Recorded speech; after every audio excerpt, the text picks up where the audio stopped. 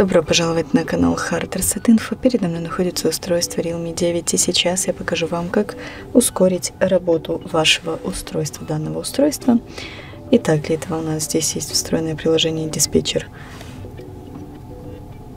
И здесь мы, заходя в это приложение, видим сразу, как у нас идет проверка. И у нас здесь все отлично 100%, но если у вас немножечко меньше, вы можете нажать «Оптимизировать». И таким образом вы можете ускорить работу своего устройства. На этом все. Спасибо за просмотр и ставьте лайки. Подписывайтесь на наш канал.